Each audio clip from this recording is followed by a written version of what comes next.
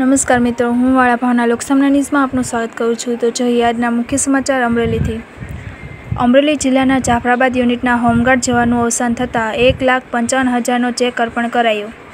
પૂર્વ સંસદીય સચિવ અને જિલ્લા હોમગાર્ડ કમાન્ડન્ટ ઉપસ્થિત રહ્યા. કમાન્ડન્ટ જનરલ લક્ષી ગુજરાત રાજ્ય હોમગાર્ડ દ્વારા અમરેલી જિલ્લાના જાફરાબાદ યુનિટના જવાનના અવસાન વેળાએ વારસદારને રૂપિયા એક લાખ પંચાવન હજારનો ચેક અર્પણ કરાયો. હોમગાર્ડ સભ્યો પોલીસની મદદમાં કાયદો વ્યવસ્થા તેમજ ધાર્મિક અને વીવીઆઈપી બંદોબસ્ત તેમજ ચૂંટણી જેવી અગત્યની ફરજો ઉપરાંત કુદરતી અને માનવસર્જિત આપત્તિ વેળાએ ખંભે ખંભા મેળવી નિષ્કામ સેવા કરી રહ્યા છે.